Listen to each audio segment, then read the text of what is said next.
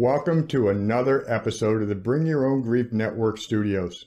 I am, as always, your humbled host, R. Glenn Kelly, father to my angel son, Jonathan Taylor Kelly, who guides me in his legacy every moment. Well, you know, I hear it all the time in my workshops. I'm so angry. I feel like I'm going to break something. I'm afraid I'm going to hurt someone or hurt myself. Is it wrong to be angry? How do I deal with my anger? Now, if this hits home for you or someone you know, stick around for this special episode from the Bring Your Own Grief Network studios. Mad About Grief, Managing Anger and Bereavement, and we'll talk about why you should not avoid your own Incredible Hulk.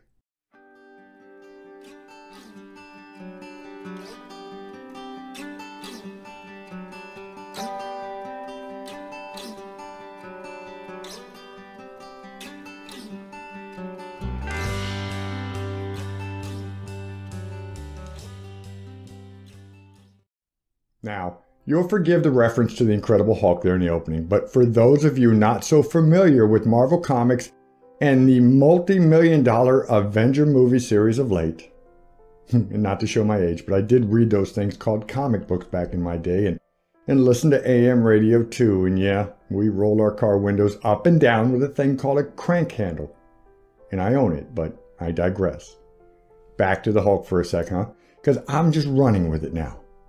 Dr. David Banner, a Marvel comic book character, is a mild mannered scientist who, because of a freak lab accident, turns into a rage filled green giant beast of a man whenever someone or something makes him mad.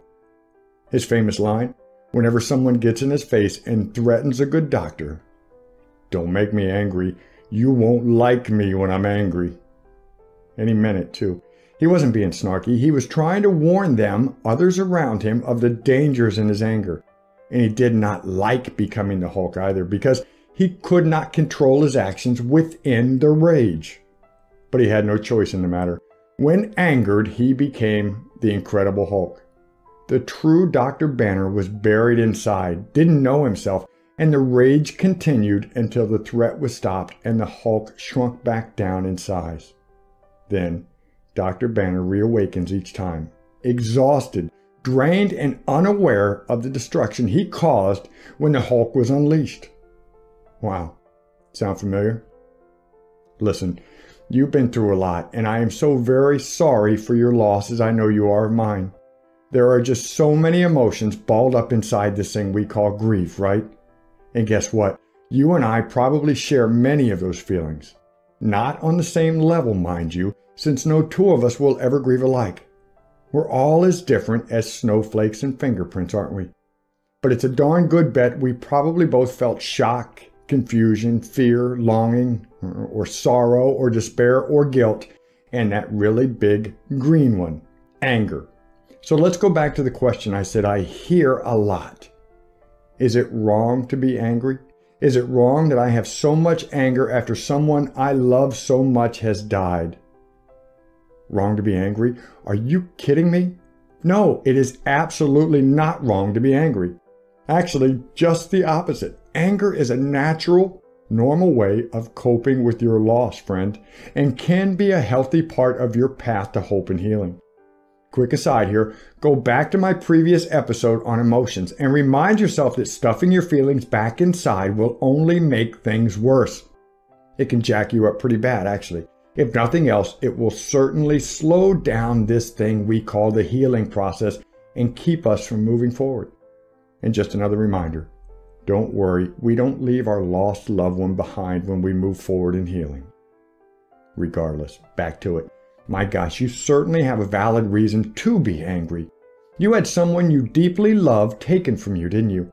And against your will, against your control, and that hurts that brings pain. And let me clue you in on something here.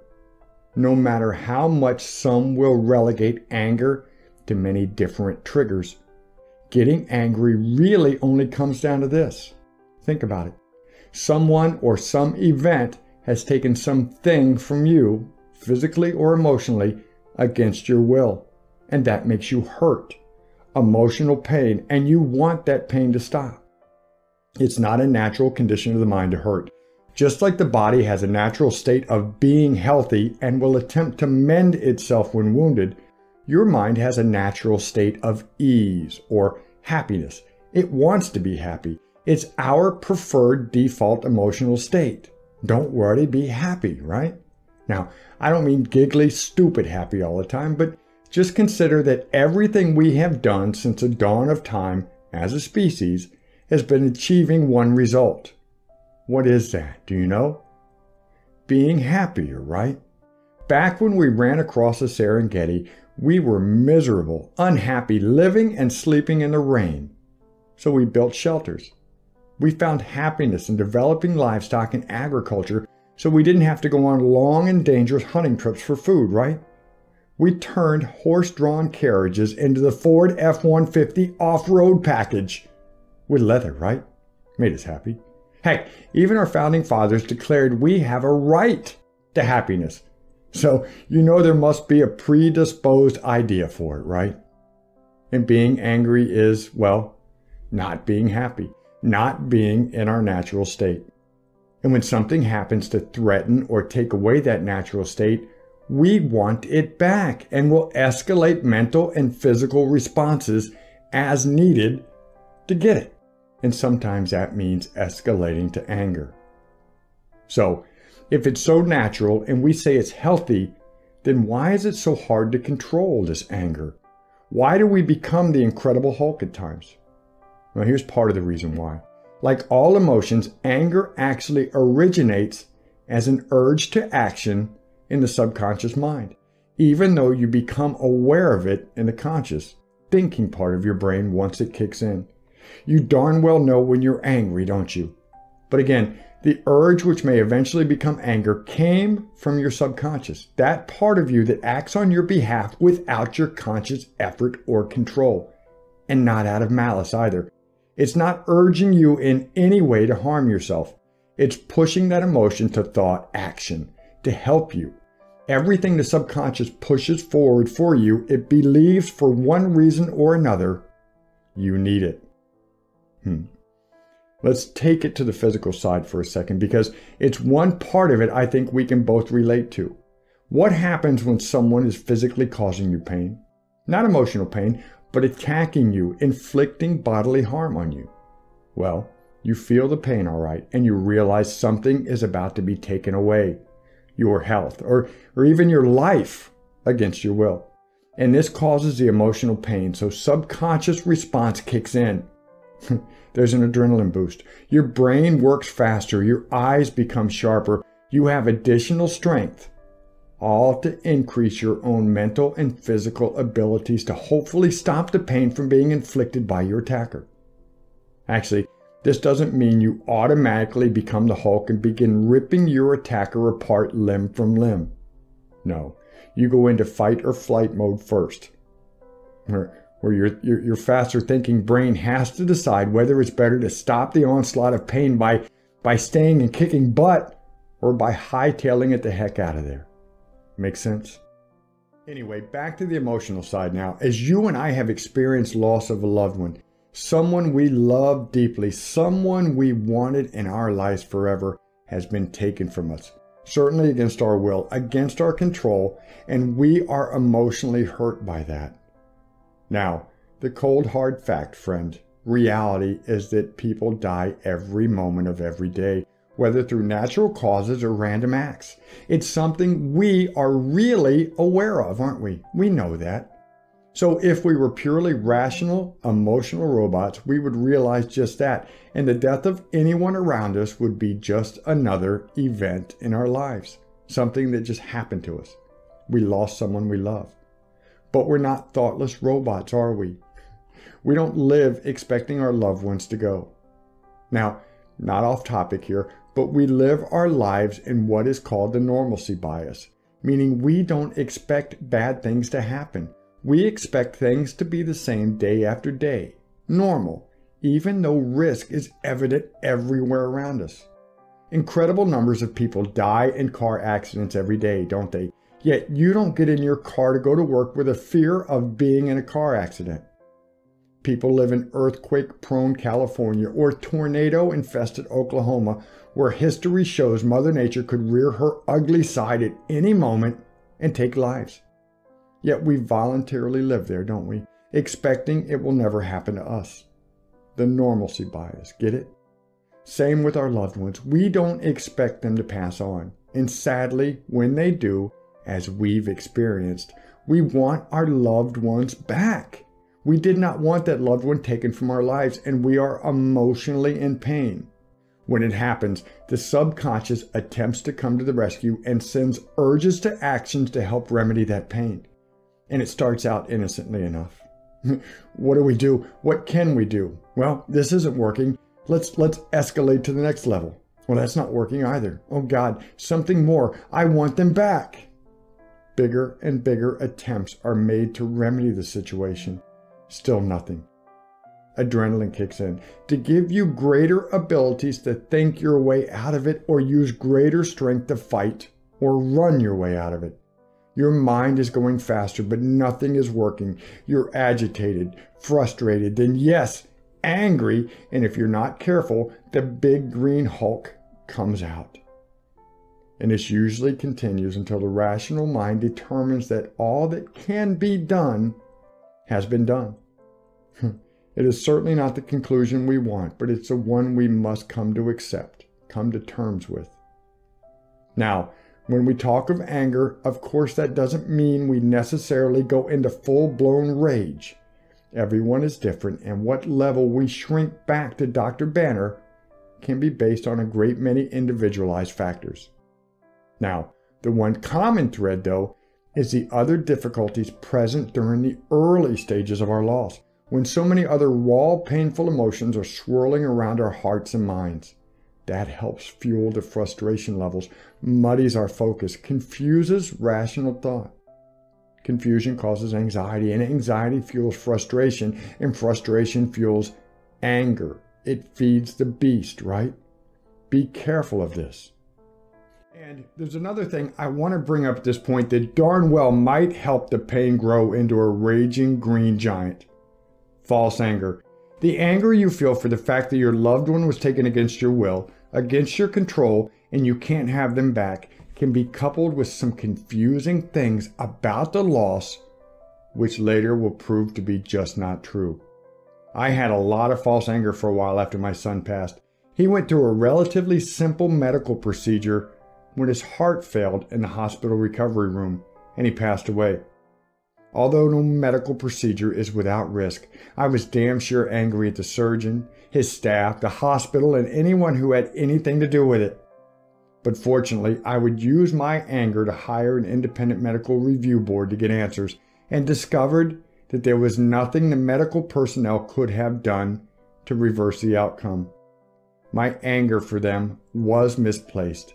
And afterward, I would go on to join the hospital's advisory board to help the parents of other children. Keep that in mind, please. That was constructive anger, and let me talk about that for a moment. There is constructive anger, and as you probably know or can guess, there is destructive anger too. A good analogy think of the two as the high road and the low road. Constructive, high road. Destructive, the low road. Anger itself is really like an emotional barometer that tells us something is not right and needs to be fixed, and we must take action. A road trip, if you will, to right the wrong. The road of constructive anger is a more intellectual, rational, thought enlightened path. It's usually a longer trip, mind you, and requires a lot of thinking, self control, and patience but you have a greater chance at arriving at your destination more assured the wrong has been righted. The road of destructive anger is primitive, a dirt road where the possibility of being detoured or hijacked by other emotions is highly probable. It's a road where we are more apt to act on our emotions. Act first, think after. Gun the engine when fear jumps out from behind a bush step out with a tire iron when guilt tries to block our journey. As you can imagine, there's a good chance we'll never even get to our destination to right the wrong going down the low road. Down destructive anger. As a matter of fact, we'll probably find ourselves lost, out of gas, but still raging in a town we never expected to be, right? Now, you don't need examples of destructive anger, do you? You might know some on a personal level, although I hope not. But maybe that's exactly why we're here. Remember, anger is a natural reaction and can actually be good for healing as long as you are not harming yourself or others. Take the high road, use it for good. For me, I channeled it, but not on purpose at first. Along with other angers, I was also extremely livid because what happened was out of my control. I'm a guy. We control things. When we can't, we get angry. So I turned heavily to my woodworking hobby not long after my son passed. I cut things. I hammered things. I shaped things. I controlled things. And I needed that. It's a good thing I moved onto other constructive anger roads in my healing journey, or my entire house would have been filled with homemade furniture a long time ago. And listen, even in constructive anger, your journey on the high road doesn't always end with righting the wrong. But that's really okay. What the heck do I mean by that? Too often, the loss of life is senseless, caused by circumstances that need not be. And ongoing constructive anger in some of these cases has resulted in many, many positive changes to our society as a whole. While you don't necessarily have to take it to this level, let me give you a few examples of where unresolved but constructive grief anger had a tremendous impact on others. First, consider Candy Lightner, founder of Mothers Against Drunk Driving. Her loss came because of intoxicated drivers, and she channeled her anger in ways that have resulted in lives being saved that we could never even count. Objectively, we can't show the figures of those who chose not to drive because of the increased efforts of enforcement by police brought on by MADD, but we can see it in the reduction of annual deaths caused by the drunks on the roadways. Then there is Gloria Yerkovich, founder of Child Find, and Donna Norris, who is responsible for getting the National Amber Alert System enacted to help find abducted children. All three of these amazing, angry people channeled their personal loss of a loved one into something that helped others. So, look, you may not be at a point where you want to go on a national crusade, although certainly don't discount that for later. For now, though, you came here to find out about your anger. Is it okay to be angry? And how do I handle that anger? First, again, as we've said, you and me, you're darn skippy, it's okay to be angry. It's natural, normal, and healthy. It's an emotion. You hurt, you feel, and you must recognize that. Now, as I've pointed out in many other episodes on the BYOG, emotions like anger must come out. To keep them stuffed inside is poison to your soul. It might very well originate in the subconscious mind as an innocent urge, but it's an urge to act. And once it gets to the thinking mind, it becomes anger not acted upon, held back day after day after day. Anger will move back to the subconscious mind, festered and ugly, and become a part of who you now are. Always bitter and agitated, angry at the world. You don't want that. That's not moving forward to a life of peace and purpose. That's moving backwards, isn't it?